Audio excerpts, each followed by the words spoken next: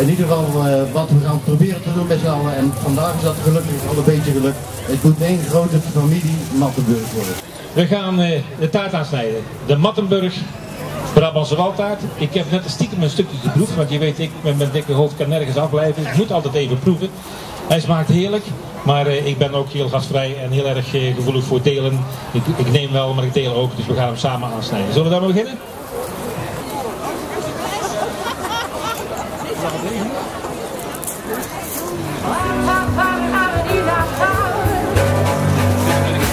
this is true, I what will I say? Will I say?